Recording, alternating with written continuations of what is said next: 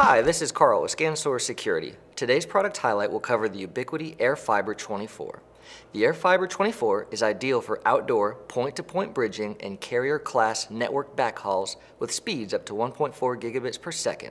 The 24 gigahertz radio operates in worldwide license-free frequency for deployment almost anywhere. For easy installation, the AirFiber features a radio alignment display directly on the unit which shows signal strength among other useful indicators. Separate transmit and receive antennas give higher transmit power and reduce noise that makes the AirFiber an attractive alternative to running underground fiber. Okay, so let's take a look at what comes in the box. Uh, this right here is the AF24. Of course, you would need two of these to make a complete link you have two antennas uh, built into this thing. You've actually got the transmit antenna that's a 33 dBi antenna. Up on the top here you actually have the receive antenna and that is a 38 dBi. Other things that come in the box, the mounting hardware, the power supply, and the quick start guide.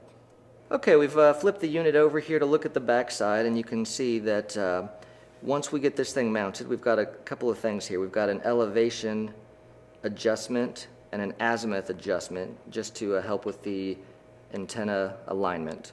And then also down here, we've got a grounding bond point for the unit.